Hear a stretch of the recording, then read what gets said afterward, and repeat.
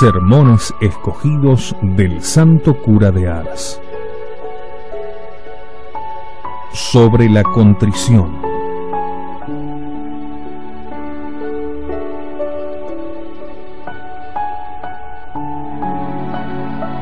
Desgraciado de mí que tanto he pecado en mi vida. De las confesiones de San Agustín. Tal era, hijos míos, el lenguaje de San Agustín cuando discurría sobre los años de su vida en los que con tanto ardor se había entregado al infame vicio de la impureza. Desgraciado de mí, pues tanto he pecado en los días de mi vida. Cuántas veces le acudía tal pensamiento sentía su corazón devorado y desgarrado por el dolor exclamaba, Oh Dios mío, una vida pasada sin amaros. Oh Dios mío, cuántos años perdidos. Ah Señor, ruegoos que os dignéis no acordaros más de mis culpas pasadas. Lágrimas preciosas, hijos míos, dolores saludables que de un gran pecador hicieron un gran santo cuán pronto un corazón quebrantado de dolor recupera la amistad de su Dios. Pluguiese a Dios que cuantas veces ponemos nuestros pecados ante nuestros ojos, pudiésemos exclamar con tanta pena como San Agustín, Ah, desgraciado de mí, pues tanto pequé en los años de mi vida. Dios mío, tened misericordia de mí cuán fácilmente correrían nuestras lágrimas y nuestra vida no parecería la misma. Sí, hijos míos, convengamos todos, cuantos estamos aquí con tanto dolor como sinceridad, en que somos unos criminales dignos de atraer toda la cólera de Dios, justamente irritado por nuestros pecados, tal vez más numerosos que los cabellos de nuestra cabeza. Mas bendigamos para siempre la misericordia de Dios, que con sus tesoros nos proporciona tan eficaz recurso contra nuestra desdicha. Por grandes que hayan sido nuestros pecados, por desordenada que haya sido nuestra conducta, tenemos la seguridad de ser perdonados, si a semejanza del Hijo pródigo nos arrojamos con un corazón contrito a los pies del mejor de todos los padres. ¿Cuál es ahora mi propósito? Aquí lo tenéis.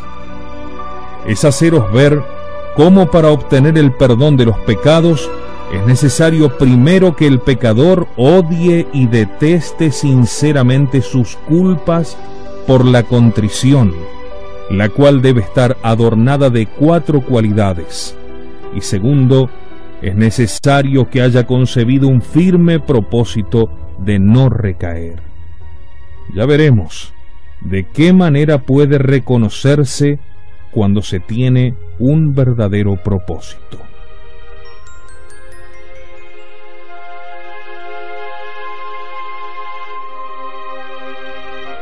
Para haceros comprender lo que viene a ser la contrición, es decir, el dolor que de nuestros pecados hemos de tener, sería necesario daros a conocer por un lado el horror que Dios tiene al pecado, así como los tormentos que sufrió para obtenernos el perdón del Padre Celestial, y por otro lado, los bienes que con el pecado perdemos, y los males a que nos hacemos acreedores para la otra vida, y esto nunca podrá el hombre comprenderlo perfectamente.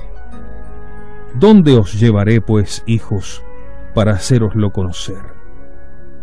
¿Será tal vez al corazón de los desiertos, donde tantos santos moraron por espacio de veinte, treinta, cuarenta, cincuenta y hasta ochenta años, ocupados en llorar unas culpas que según el mundo ni son tenidas por tales?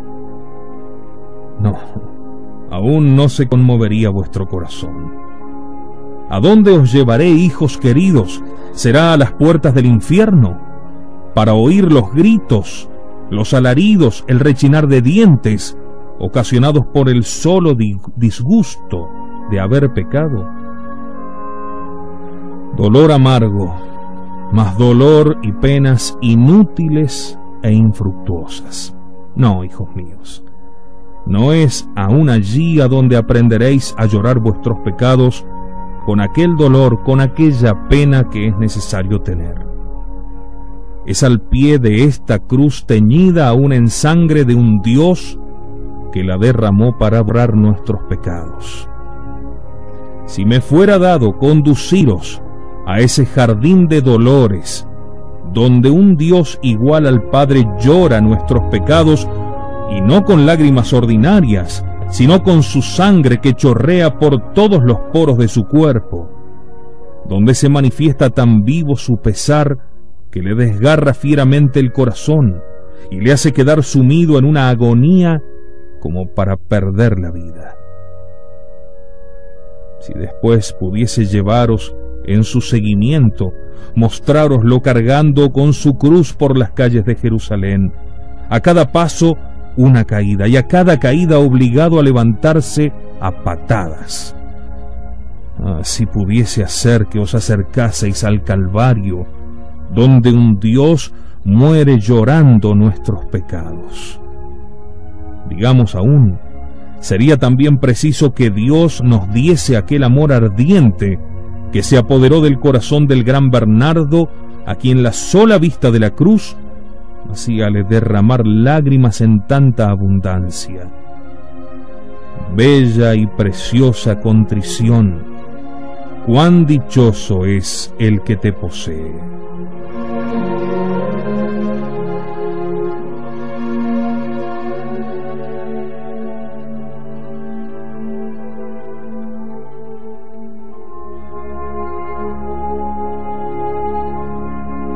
Mas ¿a quién voy yo a dirigirme?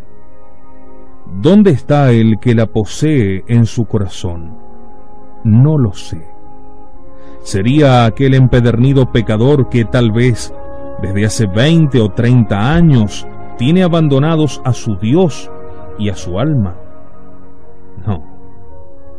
Fuera esto empeño semejante al de quien quisiese reblandecer una peña echando agua encima, con lo cual no haría otra cosa que endurecerla más. ¿Será por ventura aquel cristiano que menospreció misiones, ejercicios espirituales, jubileos y todos los sermones de sus pastores? En verdad que no. Esto sería querer calentar el agua echándole hielo. Será, pues, quizás a aquellas personas que se contentan con cumplir el precepto pascual que continúan en el mismo género de vida y que todos los años han de repetir los mismos pecados. No, estas son víctimas que la cólera de Dios está cebando para servir de alimento a las llamas eternas. Hablando más propiamente, digamos que estos son semejantes a los criminales que llevan los ojos vendados y que mientras aguardan su ejecución se entregan a todo lo que su corazón corrompido pueda desear. ¿Qué será? ¿Será pues a aquellos cristianos que confesando cada tres semanas o cada mes recaen luego todos los días? No, esos son ciegos que no saben lo que hacen ni lo que deben hacer. ¿A quién pues podré dirigirme? No lo sé Dios mío, ¿dónde habremos de ir para hallar la contrición? ¿A quién deberemos buscar para que nos la muestre?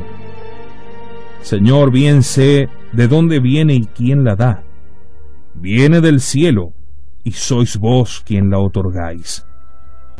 Oh Dios mío, dignaos concedernos aquella contrición que devora y desgarra el corazón esa bendita contrición que desarma a la divina justicia, que cambia nuestra eternidad desdichada en eternidad venturosa.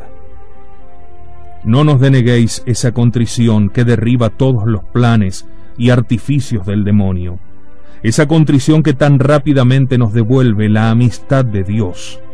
Hermosa virtud, cuán necesaria más, cuán rara eres. Y sin embargo, sin ella, no hay que pensar en el perdón ni en el cielo. Aún más, sin ella todo está perdido para nosotros. Penitencias, caridad, limosnas y todo cuanto podamos practicar. Mas os diréis vosotros, ¿qué es lo que significará esta palabra contrición? ¿Y con qué señales podremos conocer cuando la poseemos? ¿Queréis saberlo, amigos míos? Helo aquí. Escúchame un momento. Ahora vas a ver si la posees o no, como también vas a conocer el medio para poseerla. Comencemos por un detalle en extremo sencillo. Me preguntas qué es la contrición. Te diré que es un dolor del alma y una detestación de los pecados cometidos junto con una firme resolución de no recaer. Sí, hijos míos, esta disposición es la más necesaria entre las que Dios exige para perdonar al pecador. No solamente es necesaria, sino que cabe añadir que nada puede dispensarnos de la misma. Una enfermedad que nos priva del uso de la palabra puede dispensarnos de la confesión. Una muerte súbita puede dispensarnos de la satisfacción, al menos en esta vida. Mas no acontece lo mismo con la contrición. Hijos, sin ella es imposible, absolutamente imposible obtener el perdón de los pecados. Por desgracia, podemos afirmar que la falta de contrición es la causa de un número infinito de confesiones y comuniones sacrílegas. Pero lo que es aún más deplorable es que casi nunca se dé cuenta uno de la tan grande falta y viva y muera en este estado tan infeliz. Y nada más fácil de comprender. Si tenemos la desgracia de ocultar un pecado en nuestra conferente ante nos descarguemos de él. Mas no sucede lo mismo con la contrición. Nos confesamos, pero en la acusación que de nuestros pecados hacemos, para nada interviene nuestro corazón. Recibimos la absolución, nos acercamos a la sagrada mesa con el corazón tan frío, tan insensible, tan indiferente cual si viniésemos de contar una historia.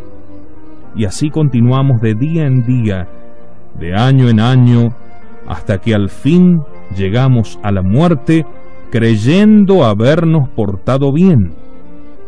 Mas solo hallamos, solo vemos crímenes y sacrilegios engendrados por nuestras confesiones. Oh Dios mío, cuántas malas confesiones por defecto de contrición.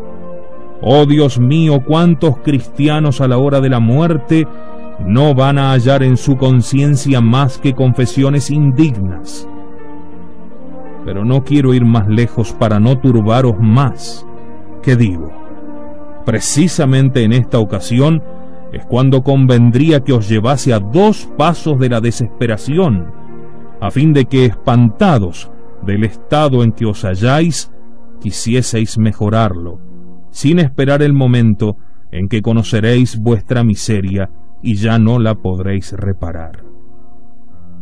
Pero vengamos, vengamos hijos, a la explicación que os debo, vais a ver si las veces que os habéis confesado tuvisteis el dolor necesario, absolutamente necesario, para alimentar la esperanza de que vuestros pecados os sean perdonados.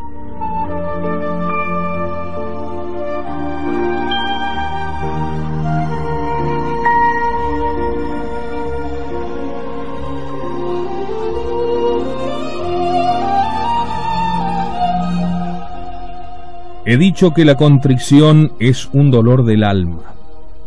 Es necesario que el pecador llore sus pecados o en este mundo o en el otro. En este mundo podéis borrarlos mediante la pena que sentís de haberlos cometido, mas en el otro no. Oh, cuán agradecidos deberíamos estar a la bondad de Dios, porque en lugar de esas lamentaciones eternas y de esos dolores desgarradores que merecemos sufrir en la otra vida, es decir, en el infierno, se contenta solamente con que nuestros corazones se sientan conmovidos por un verdadero pesar, el cual será seguido de una eterna alegría. Dios, con cuán poco os contentáis. He dicho que este dolor debe estar adornado de cuatro cualidades. Faltándole solamente una, ya no podemos obtener el perdón de nuestros pecados. Que quede claro. Primera cualidad, el dolor ha de ser interno, es decir, que salga del fondo del corazón. No consiste pues en lágrimas. Ellas serán útiles y buenas, es cierto, mas no son necesarias. En efecto, cuando San Pablo y el buen ladrón se convirtieron, no se habla de que llorasen, y sin embargo el dolor de sus pecados fue sincero. No es en las lágrimas en lo que debemos confiar, porque a veces hasta son engañadoras. Muchas personas lloran ante el tribunal de la penitencia y sin embargo caen a la primera ocasión. Mas ved cuál es el dolor que Dios quiere de nosotros. Escuchad lo que nos dice el profeta Joel. Habéis tenido la desgracia de pecar, ah hijos míos, romped y desgarrad vuestros corazones. Si habéis perdido al Señor a causa de vuestros pecados, buscadle con toda el alma, en la aflicción y en la amargura de vuestro corazón. ¿Por qué, hijos míos, quiere Dios que nuestro corazón se arrepienta? Porque es nuestro corazón el que ha pecado. Dice el Señor, de vuestro corazón es de donde nacieron todos esos malos pensamientos y malos deseos. Si nuestro corazón ha hecho el mal, es preciso que se arrepienta. Sin esto Dios no nos perdonará jamás.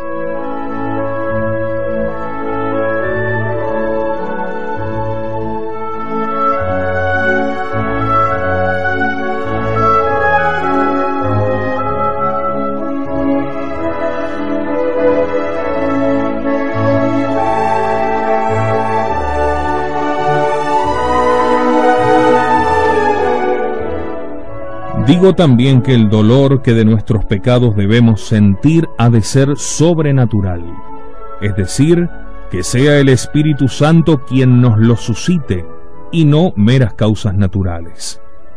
Ved la diferencia. Afligirse por haber cometido tal o cual pecado, porque por él quedamos excluidos del cielo y merecemos el infierno, son motivos sobrenaturales.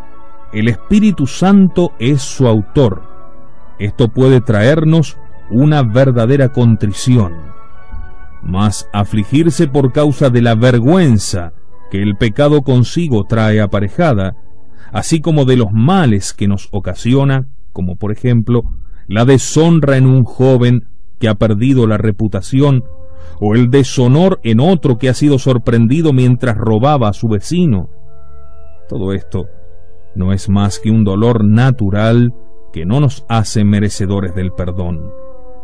De aquí podemos fácilmente deducir que el dolor y arrepentimiento de nuestros pecados pueden venir o del amor que por Dios sentimos o del miedo de los castigos.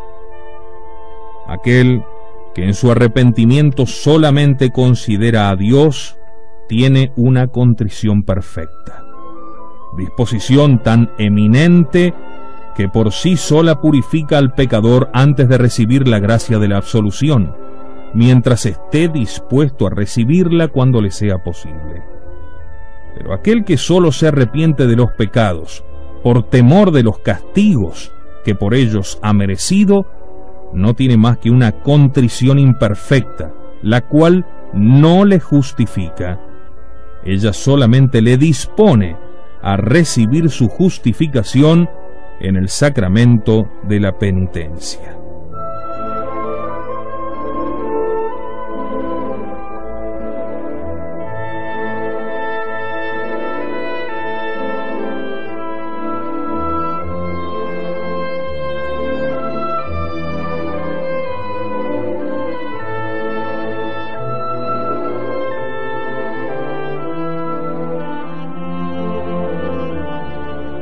Tercera condición de la contrición, ha de ser suma, o sea, el mayor de todos los dolores.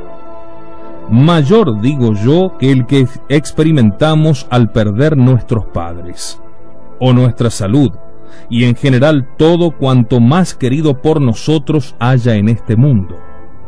Si después de haber pecado no tenéis pues tal pesar, temblad por vuestras confesiones.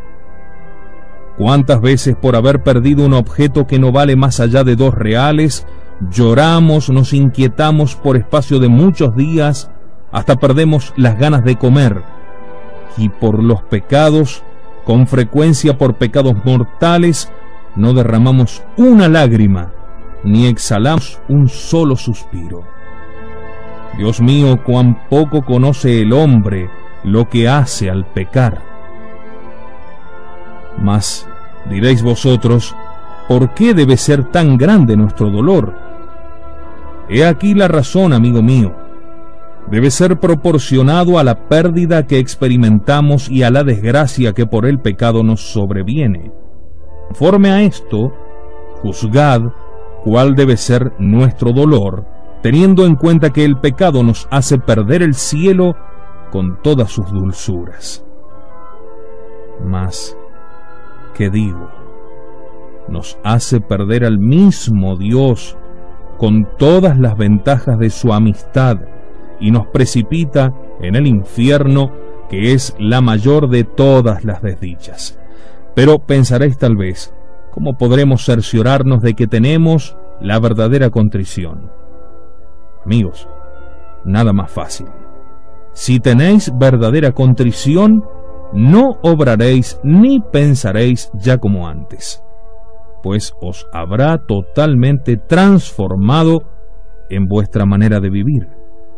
Odiaréis lo que antes amabais y amaréis aquello de que antes huisteis y menospreciasteis. Es decir, que si os habíais confesado de ser orgullosos en vuestras acciones y en vuestras palabras, es preciso que ahora respiréis bondad y caridad para con todo el mundo. No sois vosotros quien ha de juzgar si habéis hecho buena confesión, pues os podríais engañar, sino que se requiere que las personas que os vieron y oyeron antes de confesaros puedan decir, no es el mismo, se ha realizado en él un gran cambio. Dios mío, ¿dónde están las confesiones que causan este bien tan grande? ¿Cuán escasas son? ¿Y cómo lo son también aquellas que están adornadas de todos los requisitos exigidos por Dios?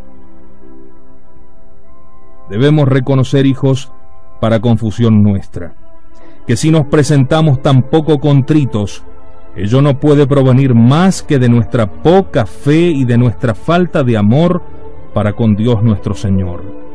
Si tuviésemos la dicha de comprender cuán bueno es Dios, y cuánta enormidad encierra el pecado y cuán negra es nuestra ingratitud al ultrajar a Padre tan bueno, sin duda compareceríamos afligidos y en forma muy distinta que hasta ahora. Me dirá alguno, cuando me confieso, bien quisiera yo tener esa contrición, pero no puedo. Mas ¿qué os he dicho al principio? ¿No os he dicho que ella venía del cielo y que debíamos pedirla al mismo Dios? ¿Qué hicieron los santos, hijos míos, para merecer esa dicha de llorar sus pecados? La pidieron a Dios mediante el ayuno, la oración y toda suerte de penitencias y buenas obras. Mas en vuestras solas lágrimas nunca debéis confiar. Y voy a demostrároslo. Abrid los libros sagrados y quedaréis convencidos. Mirad a Antíoco, cómo llora y con qué insistencia pide misericordia. Sin embargo, nos dice el Espíritu Santo, con su llanto bajo el infierno. Mirad a Judas, concibió tan grande dolor de su pecado, lo lloró tan amargamente, que acabó ahorcándose. Ved a Saúl, exhala clamores horribles por haber tenido la desgracia de despreciar al Señor, y no obstante está en el infierno. Mirad a Caín, cuántas lágrimas derrama por su pecado, sin embargo, arde en el fuego eterno. ¿Quién de nosotros, hijos, al ver derramar tantas lágrimas y mostrar tal arrepentimiento, no hubiera creído que el buen Dios los habría perdonado? No obstante, ninguno de ellos alcanzó el perdón, mientras que David, desde el momento que dijo he pecado, enseguida su falta quedó borrada. ¿Y por qué es así, me dirás? ¿Por qué esta diferencia entre los primeros que no son perdonados y David que sí lo es? Aquí la tienes, amigo. Es que los primeros no se arrepienten ni detestan sus pecados más que por causa de los castigos y de la infamia que el pecado, el pecado trae consigo aparejada, sin referirlo a Dios para nada. Mientras que David lloró sus pecados no en vista de los castigos que el Señor iba a infligirle, sino considerando el ultraje que con sus pecados había hecho a Dios. Fue tan vivo, tan sincero su dolor, que Dios no pudo denegarle el perdón. Antes de confesarte, ¿pides a Dios la contrición? Ay, tal vez no lo hiciste jamás. Tiembla entonces por tus confesiones. Cuántos sacrilegios, Dios mío, cuántos cristianos condenados. Además, ha de ser universal. Hallamos en la vida de los santos a propósito del universal dolor que debemos tener de nuestros pecados, que si no los detestamos todos, no se nos perdonará ninguno. Refiérese que San Sebastián, estando en Roma, hacía grandes milagros, los cuales llenaron de admiración al gobernador Cromos, quien sintiéndose en aquella época presa de terrible enfermedad, manifestó ardientes deseos de verle para pedir al santo la curación de sus males. Al estar el santo en su presencia, le dijo el gobernador, Hace largo tiempo que estoy sufriendo cubierto de llagas, sin que haya podido hallar hombre alguno en el mundo que me pueda librar de mis males. Corre el público rumor de que tú alcanzas cuanto quieres de tu Dios, si quisieras pedirle mi curación, te prometería hacerme cristiano. Pues bien, le dijo el santo, si estás firme en tal propósito, te prometo de parte del Dios a quien adoro, que es el creador del cielo y de la tierra, que en cuanto hayas roto todos tus ídolos, quedarás perfectamente curado. Respondióle el gobernador, no solamente estoy dispuesto a hacer este sacrificio, sino otros mayores si fuera preciso.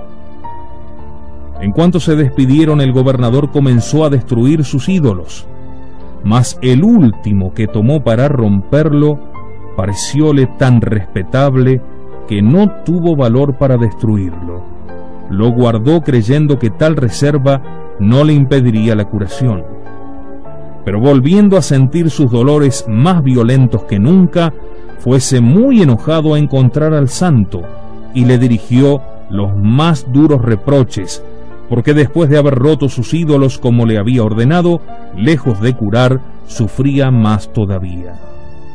Pero el santo le dijo, ¿los has destruido a todos sin reservarte ni uno solo? Ay, dijo el gobernador llorando, no me queda más que uno muy pequeño al cual desde largos años se conserva en nuestra familia, es demasiado precioso para destruirlo. Pues bien, dijo el santo, es eso lo que me habías prometido. Anda, rómpelo y quedarás curado. Lo tomó, rompiólo y al momento quedó curado. Aquí tenéis, hijos míos, un ejemplo que nos pinta la conducta de un número infinito de gentes, que se arrepienten de un cierto número de pecados, mas no de todos, y que a semejanza de aquel gobernador, lejos de curar las llagas que el pecado causó en su pobre alma, las abren aún más profundamente.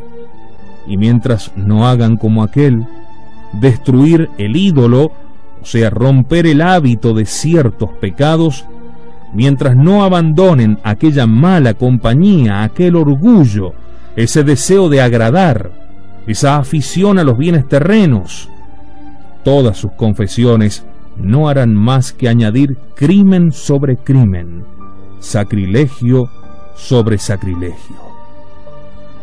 ¡Qué horror! ¡Qué abominación! Y en ese estado viven muchos tranquilos mientras el demonio les prepara sitio en el infierno. En la historia leemos un ejemplo que nos muestra cómo los santos tenían por necesario el dolor de los pecados para alcanzar el perdón de los mismos. Habiendo caído enfermo un oficial del Papa, este que por su virtud y su santidad le apreciaba mucho, envióle uno de sus cardenales para testimoniarle el dolor que le causaba su enfermedad y al mismo tiempo para que le aplicase las indulgencias plenarias. Ay, dijo el moribundo al cardenal, decida al Padre Santo que quedo infinitamente agradecido a su tierna solicitud para conmigo, pero decidle también que seré infinitamente más feliz si quiere pedir a Dios por mí la contrición de mis pecados. Ay, exclamaba, ¿de qué me servirá todo aquello si mi corazón no se rompe ni se desgarra de dolor por haber ofendido a un Dios tan bueno? Dios mío, exclamaba aquel pobre moribundo, haced si es posible que el dolor de mis pecados iguale a los ultrajes que contra vos he cometido. Oh hijos míos, cuán raros son tales arrebatos de dolor, son tan raros como las buenas confesiones. Un cristiano que ha pecado y que quiere alcanzar el perdón ha de estar dispuesto a sufrir las más espantosas crueldades antes que recaer en los pecados de que se acaba de confesar. Voy a demostrarlo con un ejemplo y considerad que si después de nuestras confesiones no aparecemos en disposición semejante, no hay que hablar de perdón. Leemos en la historia del siglo IV que Sapor, emperador de los persas, fue un cruel enemigo de los cristianos, y mandó que todos los sacerdotes que no adorasen el sol ni le reconociesen como Dios, quedasen condenados a muerte al primero que hizo prender fue al arzobispo de Seleucia, que era San Simeón. Primero intentó seducirle, halagándole con toda suerte de promesas. No logró nada, y en la esperanza de atemorizarlo, le mostró todos los tormentos que su crueldad había podido inventar para hacer sufrir a los cristianos y le dijo que si su tenacidad le llevaba a rechazar lo que él le ordenaba, le obligaría a obedecer sometiéndole a los más espantosos tormentos, a más que expulsaría a todos los sacerdotes y cristianos de su reino. Pero al verle inconmovible como una roca en medio del mar azotado por las tormentas, ordenó que fuese encarcelado con la esperanza de que la consideración de los tormentos que le esperaban le haría mudar de sentimientos. En el camino de la cárcel se encontró el santo con un viejo eunuco, superintendente del palacio imperial. Este movido a compasión al ver tan indignamente tratado a este santo obispo, se postró ante él para testimoniarle el respeto que hacia su persona sentía. Mas el obispo, lejos de mostrarse reconocido al testimonio respetuoso de aquel eunuco, volvióse hacia otro lado como reproche a su apostasía, ya que en otro tiempo aquel había sido cristiano y católico. Aquella repulsa no esperada movió tanto al eunuco, le penetró tan vivamente en el corazón, que desde aquel momento mismo no pudo ya dominar sus lágrimas y sollozos. Parecióle tan horrible el crimen de la apostasía, que despojándose prontamente de las blancas vestiduras con que estaba revestido, tomó otras de color negro, corrió a guisa de un desesperado a arrojarse a las puertas del palacio y allí entregóse a las angustias del más acerbo dolor se decía, ah, desgraciado, ¿qué va a ser de ti? ¿Qué castigos habrás de esperar de Jesucristo, cuya fe has renunciado cuando eres tan sensible al reproche de un obispo que no es más que un ministro de aquel a quien tan vergonzosamente has traicionado? Mas enterado el emperador de lo que acontecía y extrañado de tal espectáculo, le preguntó, ¿por qué causa experimentas tanto dolor y derramas tantas lágrimas? Ah, pluguiese a Dios, exclamó, que se me viniesen encima todas las desgracias del mundo antes que la que es causa de mi dolor. Lloro porque la muerte no me arrancó de este mundo. ¿Cómo podré mirar aún el sol al que adoré por temor de desagradaros? El emperador, que le apreciaba por su fidelidad, intentó ganarle prometiéndole toda suerte de riquezas y favores. No, no, exclamaba el eunuco, cuán dichoso seré si puedo con mi muerte reparar los ultrajes que a Dios he inferido y recobrar el cielo que había perdido. Oh Dios mío y Salvador mío, ¿tendréis todavía piedad de mí? Si al menos tuviese mil vidas a disposición, para testimoniaros mi dolor y mi retorno. El emperador, al oír hablar de esta manera, moría de rabia, y desconfiando poderle hacer volver de su propósito, le condenó a morir en los tormentos. Escuchadle, hijos, escuchadle mientras se dirige al suplicio. Ah, Señor, qué dicha morir por vos. Sí, Dios mío, si tuve la desgracia de renegar de vos, a lo menos tendré también la dicha de dar por vos mi vida.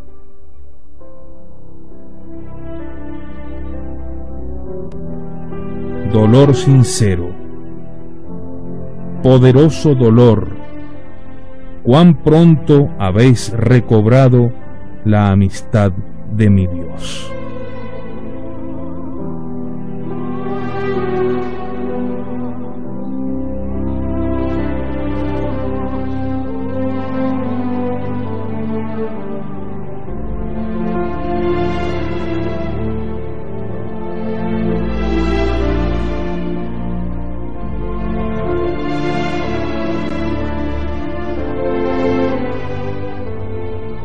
Leemos en la vida de Santa Margarita que fue tan grande el dolor que experimentó por un pecado cometido en su juventud que lo lloró durante toda su vida. Estando a punto de morir se le preguntó qué pecado había cometido que le hiciera derramar tantas lágrimas. Ay, exclamó llorando, ¿cómo no había yo de llorar? Lo mejor, ¿por qué no hube de morir antes de cometer tal pecado? A la edad de cinco o seis años, tuve de la desgracia de decir una mentira a mi padre. Mas por esto le dijeron no hay que llorar tanto. ¿Puede hablarse de esta manera? ¿Es que no habéis reflexionado nunca lo que es un pecado? El ultraje que hace a Dios y los males que nos causa. ¿Qué será de nosotros? Cuando tantos santos hicieron temblar las peñas y los desiertos con sus gemidos y derramaron, por decirlo así, las lágrimas a torrentes por unos pecados que nosotros tenemos como cosa de juego, en tanto que cometemos grandes pecados mortales en número que tal vez supera al de los cabellos de nuestra cabeza, y ni una lágrima de dolor ni de arrepentimiento. Triste ceguera a que nos han conducido nuestros desórdenes. En la vida de los padres del desierto leemos que un ladrón llamado Jonatás, al verse perseguido por la justicia, corrió a refugiarse junto a la columna de San Simeón Estilita, esperando que el respeto hacia el santo le libraría de la muerte. En efecto, nadie se atrevió a ponerle entonces la mano encima. El santo se puso a orar para pedir a Dios su conversión. Al momento experimentó aquel un tan vivo dolor de sus pecados que durante ocho días no hizo más que llorar. Al cabo de aquellos ocho días, pidió permiso a San Simeón para dejarle. El santo díjole, Amado mío, te vuelves al mundo para reanudar los desórdenes de tu vida. Ah, Dios me libre de una tal desgracia. Si os lo pido, es para ir al cielo. He visto a Jesucristo y me ha dicho que por el gran dolor que había concebido estaban ya perdonados mis pecados. Vete, hijo mío, le dijo entonces San Simeón, vete a cantar en el cielo las grandes misericordias que Dios ha ejercido contigo. Cosa misteriosa, en aquel mismo momento cayó muerto y el santo refiere que él vio a Jesucristo conduciendo su alma al cielo. Hermosa muerte, muerte preciosa, la ocasionada por el dolor de haber ofendido a Dios. Si no morimos de dolor como esos grandes penitentes, a lo menos queramos, hijos queridos, excitar en nosotros una verdadera contrición. Imitemos al santo obispo recientemente fallecido, quien para concebir un vivo dolor de sus pecados, cada vez que comparecía ante el tribunal de la penitencia, hacía tres estaciones. La primera en el infierno, la segunda en el cielo, la tercera en el Calvario. Ante todo dirigía su pensamiento a los lugares de horror y de tormento. Figurábase ver a los condenados vomitando por la boca torrentes de llamas, dando alaridos y devorándose mutuamente. Este pensamiento le helaba la sangre. Pensaba no poder resistir más a la vista de aquel espectáculo, sobre todo al considerar que sus pecados le habían hecho mil veces merecedor de aquel suplicio. De allí se trasladaba su espíritu al cielo y pasaba revista a todos los tronos de gloria en los cuales se sientan los bienaventurados representábase las lágrimas por ellos derramadas y las penitencias hechas durante toda su vida por unos pecados tan leves de los cuales había él cometido tantos sin hacer nada para expiarlos. Y esta negligencia le sumía en tan profunda tristeza que sus lágrimas parecían no poder agotarse. No contento con esto, dirigía sus pasos hacia el Calvario y allí, a medida que se acercaba a la cruz donde Dios muriera por él, faltábanle las fuerzas y quedaba inmóvil a la vista de los sufrimientos que sus pecados causaron a su Dios. Oíansele a cada momento estas palabras que pronunciaba en medio de sollozos. Dios mío, Dios mío, ¿podré vivir aún después de considerar los horrores que mis pecados os causaron. Aquí tenéis, hijos míos, lo que podemos llamar una verdadera contrición, ya que como vemos, considera los pecados nada más que por lo que a Dios se refiere.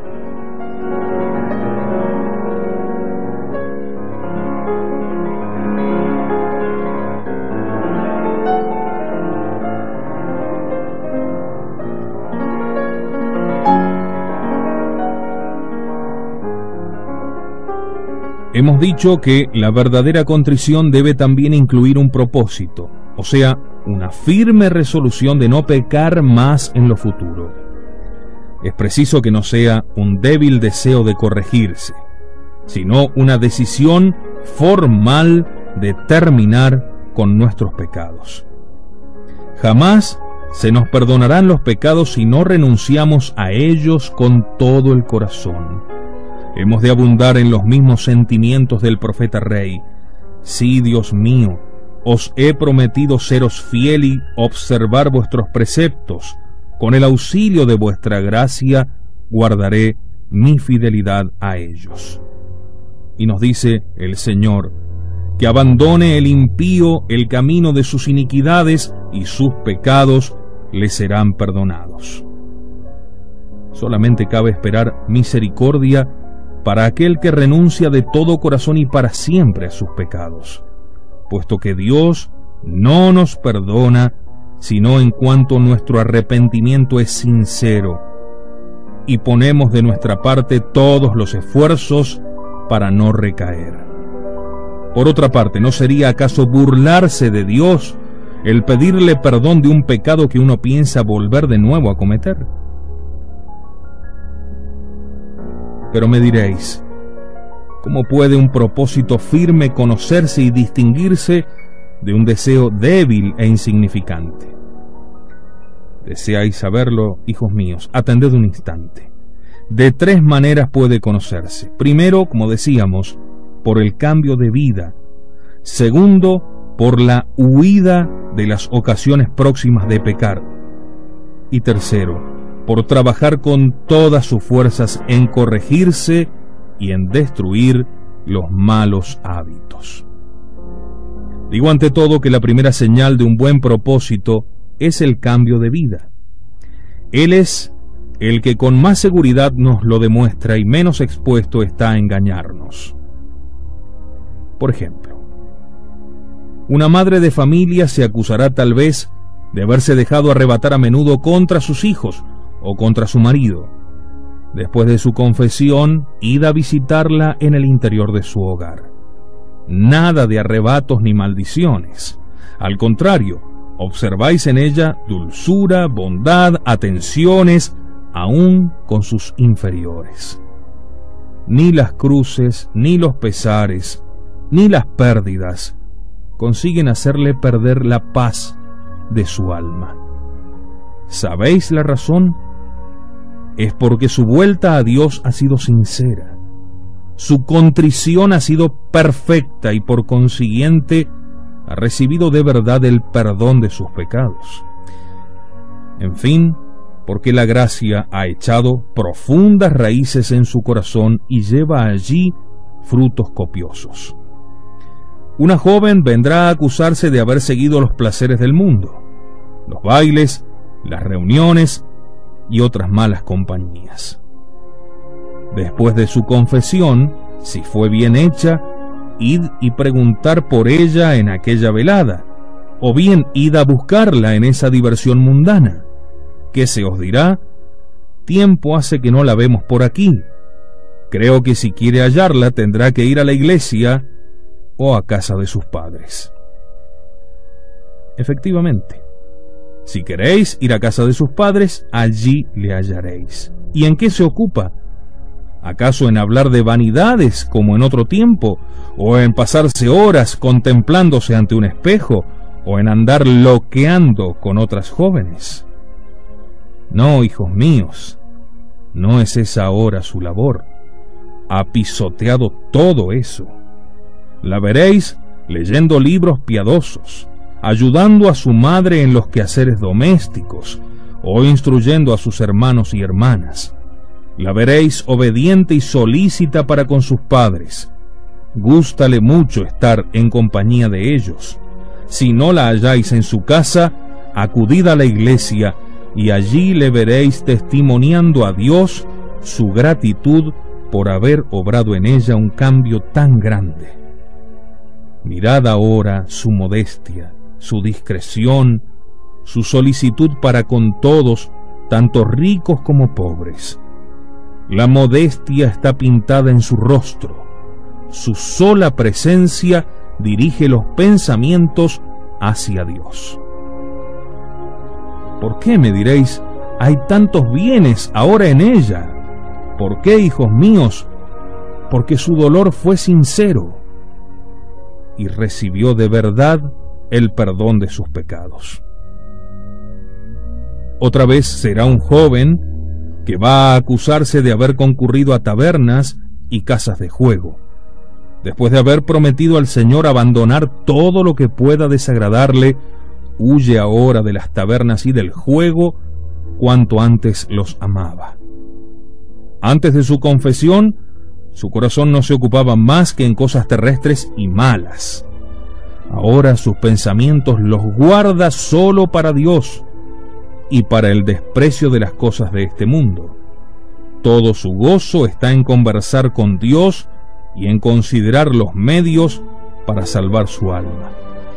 Estas son las señales de una verdadera y sincera contrición. Si después de vuestras confesiones os sentís así, podréis esperar que vuestras confesiones han sido buenas y que vuestros pecados han sido perdonados. Pero si practicáis todo lo contrario de lo que acabo de deciros, si algunos días después de vuestras confesiones se ve a esa joven que había prometido a Dios abandonar el mundo y sus placeres para no pensar más que en agradarle, si yo la veo, digo, como antes, en sus reuniones mundanas, si veo a esa madre tan colérica y negligente para con sus hijos y domésticos, tan quisquillosa con sus vecinos como antes de la confesión, si hallo nuevamente a ese joven en sus juegos y tabernas, horror, oh abominación, monstruos de ingratitud, ¿En qué estado se halla esa pobre alma? Horror y sacrilegio.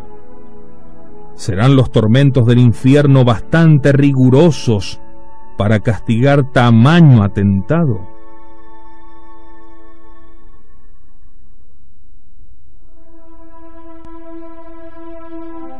Decimos que la segunda señal de una contrición verdadera es la fuga de las ocasiones próximas de pecado. Las hay de dos suertes. Unas llevan por sí mismas, como por ejemplo libros malos, comedias, bailes, pinturas, esculturas, canciones impuras o la familiaridad con personas de distinto sexo. Otras solo constituyen ocasión de pecar a causa de las malas disposiciones en que se halla el sujeto. Así los taberneros, los comerciantes que defraudan o que venden en día de domingo, una persona que no cumple los deberes del cargo que ocupa, ya sea por respeto humano, ya por ignorancia. ¿Qué debe hacer, pues, el que se halla en esta situación? Vedlo aquí. Por costoso que sea, debe abandonar aquello que constituye ocasión próxima, sin lo cual no hay directamente que pensar en la posibilidad de salvarse. Nos dice Jesucristo que si nuestro ojo o nuestra mano nos escandalizan, debemos arrancarlos y arrojarlos lejos de nosotros. Pues, nos dice Él, vale más entrar en el cielo con un ojo o un brazo menos que ser arrojados al infierno teniendo íntegro nuestro cuerpo. Es decir, por sensible que nos sea, por más que represente una pérdida considerable, en manera alguna hemos de dejar de apartar las ocasiones. Y si no lo hacemos, no pensemos en el perdón. Decimos que la tercera señal de un buen propósito es poner todas las energías en destruir los malos hábitos. Llámase hábito a la facilidad que uno tiene en caer en los pecados antes cometidos. Es preciso en primer lugar vigilar cuidadosamente acerca de sí mismo y ejecutar con frecuencia acciones contrarias. Por ejemplo, si nos domina el orgullo, deberemos ejercitarnos en practicar la humildad, complaciéndonos en ser despreciados, no buscando en nada, ni en las palabras, ni en las acciones, la estimación de los demás. pensar siempre que lo que hacemos está mal hecho. Si obramos el bien y socorremos a los demás, figurarnos indignos de que Dios se sirva de nosotros, considerándonos en el mundo como un ser que no hace más que despreciar a Dios durante toda su vida y que merecemos que se hable de nosotros mucho peor de lo que se habla actualmente. Nos domina la cólera, entonces precisa practicar la mansedumbre, ya en las palabras, ya en la manera de portarnos con nuestro prójimo. Estamos inclinados a la sensualidad, deberemos mortificarnos ya en la bebida, ya en la comida, en las palabras, en las miradas, e imponernos alguna penitencia ante cada recaída. Hijos, si no tomáis estas precauciones, al recaer en vuestros pecados, podéis muy rectamente concluir que todas vuestras confesiones nada valen, que no fueron más que sacrilegios, un crimen tan horrible que os sería imposible vivir si conocieseis su negrura, su horribilidad, su atrocidad.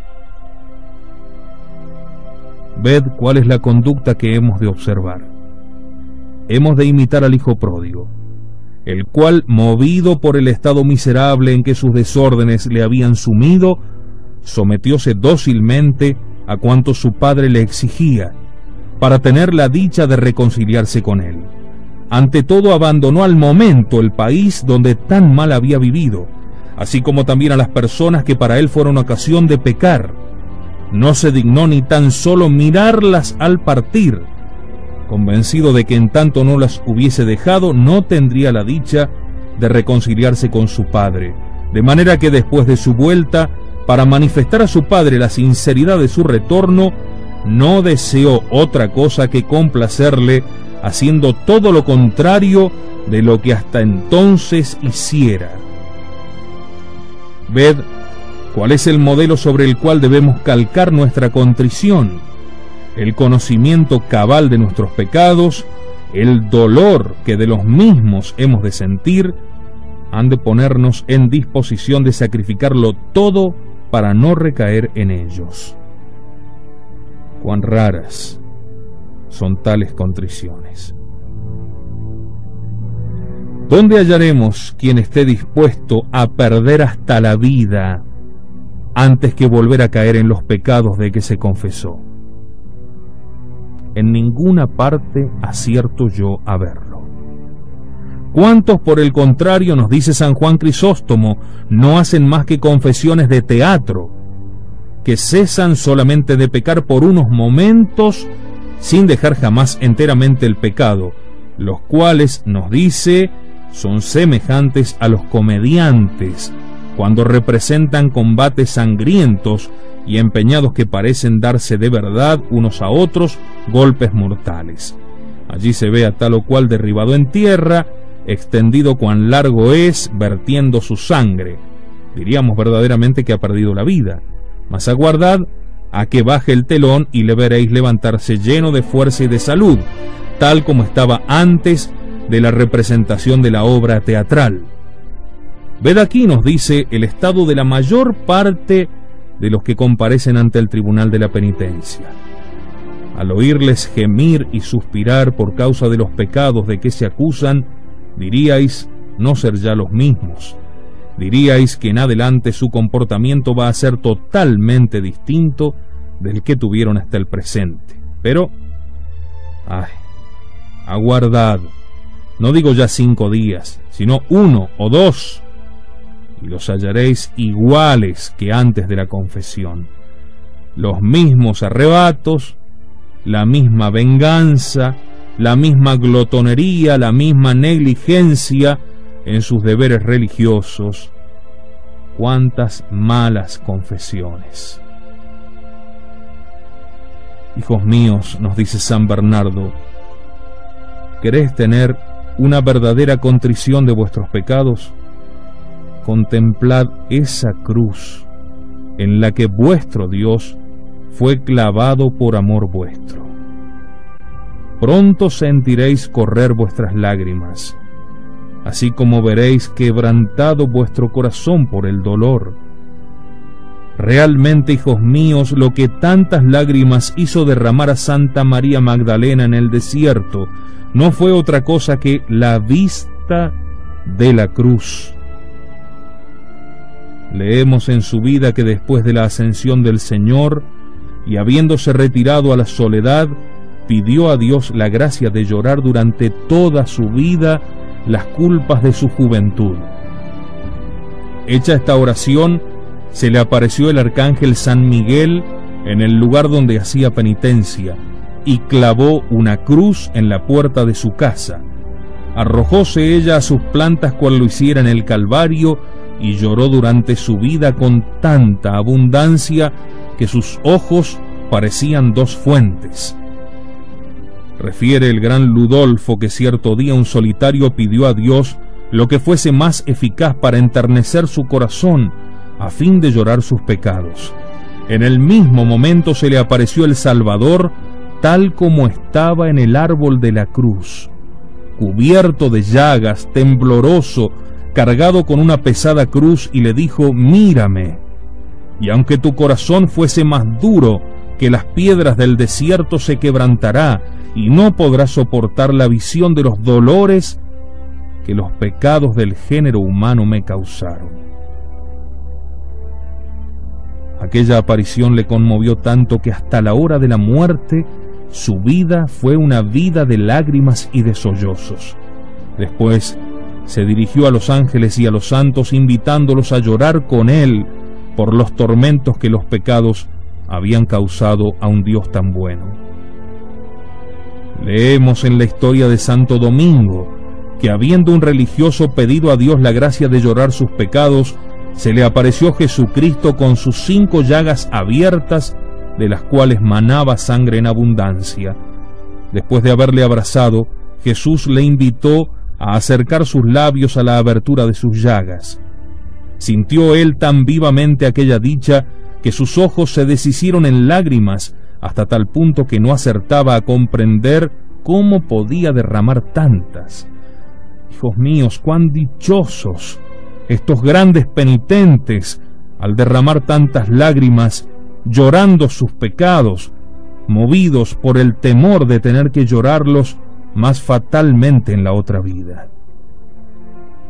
Cuánta diferencia entre ellos y los cristianos de nuestros días, culpables de tantos pecados y sin embargo tan reacios al remordimiento y a las lágrimas. ¿Qué va a ser de nosotros? ¿A dónde iremos a parar? cuántos cristianos perdidos, ya que o hay que llorar los pecados en este mundo, o ir a llorarlos en los abismos. Oh Dios bendito, dadnos aquel dolor y aquel pesar eficaces para recobrar vuestra amistad. ¿Qué deberemos sacar, hijos míos, de cuanto acabamos de hablar? Vedlo aquí, hemos de pedir constantemente a Dios horror al pecado, saber huir las ocasiones de pecado y no perder nunca de vista que los condenados si arden y lloran en el infierno es porque no se arrepintieron de sus culpas en este mundo ni quisieron dejar el pecado. No por grandes que sean los sacrificios a que nos veamos obligados, nunca han de ser capaces de detenernos. Tenemos necesidad absoluta de luchar, de sufrir, de gemir en este mundo si queremos tener el honor de ir a cantar a Dios sus alabanzas por toda la eternidad. Y esta es la gracia que os deseo.